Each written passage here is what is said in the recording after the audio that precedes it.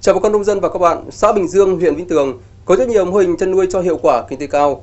Trong đó mô hình chăn nuôi bò sữa của hội viên nông dân Lê Thị Minh Lâm là mô hình tiêu biểu cho thấy nghị lực vượt khó vươn lên làm giàu chính đáng. Mời bà con nông dân và các bạn đến thăm mô hình chăn nuôi bò sữa của hội viên Lê Thị Minh Lâm trong phần đầu mục nhà nông làm giàu hôm nay. Những năm trước đây, cuộc sống của gia đình bà Lâm chỉ trông vào làm ruộng, thu nhập thấp, điều kiện kinh tế gặp rất nhiều khó khăn. Trước hoàn cảnh của gia đình, bà Lâm đã mạnh dạn đầu tư hướng phát triển chăn nuôi mới nhằm nâng cao thu nhập và cải thiện cuộc sống. Năm 2010, bà Lâm đã mạnh dạn vay vốn đầu tư xây dựng chuồng trại để chăn nuôi bò sữa. Thời gian đầu, việc chăn nuôi bò sữa của gia đình bà gặp không ít khó khăn về vốn và kỹ thuật chăm sóc.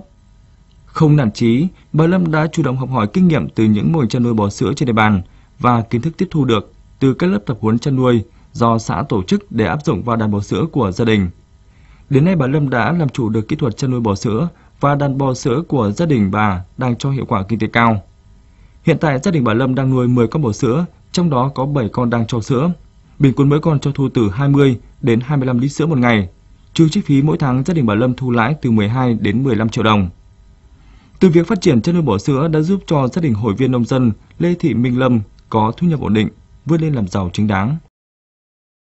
Với lợi thế về đất đai, địa hình và các cơ chế chính sách hỗ trợ của huyện, nhiều hộ nông dân trên địa bàn xã Quang Sơn, huyện Lập Thạch đã mạnh dạn đầu tư phát triển kinh tế gia đình theo mô hình trang trại gia trại, mang lại hiệu quả kinh tế cao và vươn lên làm giàu. Hiện nay trên địa bàn xã Quang Sơn có trên 60 mô hình trang trại và 200 gia trại. Trong đó mô hình chăn nuôi lợn thương phẩm đang phát triển mạnh, đem lại nguồn thu nhập chính cho người dân nơi đây. Nhiều hộ gia đình đã đầu tư chuồng trại quy mô, khoa học và chăn nuôi lợn theo hướng công nghiệp, đem lại thu nhập cao.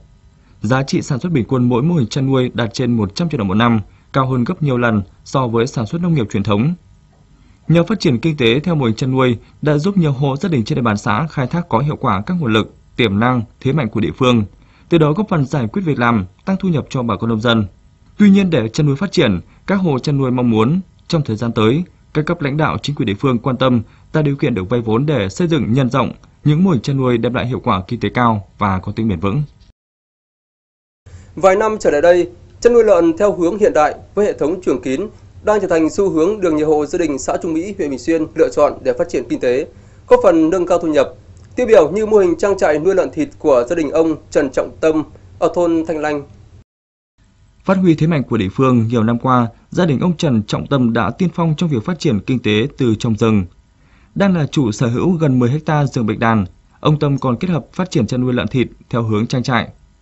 Năm 2015, gia đình ông Tâm đã đầu tư 4 tỷ đồng xây dựng trang trại theo quy trình chăn nuôi hiện đại, khép kín, có hệ thống quạt hút gió, có giàn mát nhằm điều hòa nhiệt độ trong chuồng, giúp đàn lợn phát triển ổn định, tránh dịch bệnh.